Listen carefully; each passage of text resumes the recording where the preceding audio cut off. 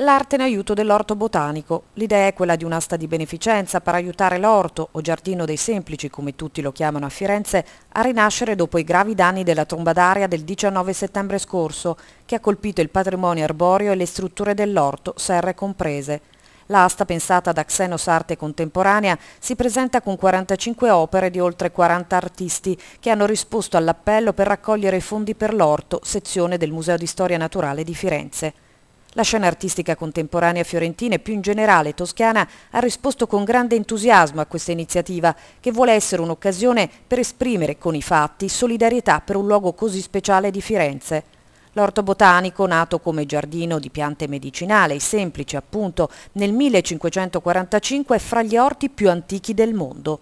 Per colpa della tromba d'aria di settembre il giardino è stato chiuso al pubblico e riaprirà il primo aprile. Le opere dei 45 artisti saranno allestite e visibili dalle ore 10 del 13 dicembre presso la libreria Todo Modo di Firenze. Dalle ore 20 sarà poi battuta l'asta, che seguirà l'ordine alfabetico degli artisti. Il pubblico interessato a inviare una proposta di acquisto lo potrà fare fino alle ore 24 del 12 dicembre, inviando una mail con i propri dati anagrafici e la proposta d'acquisto a info-xenoscontemporanea.com.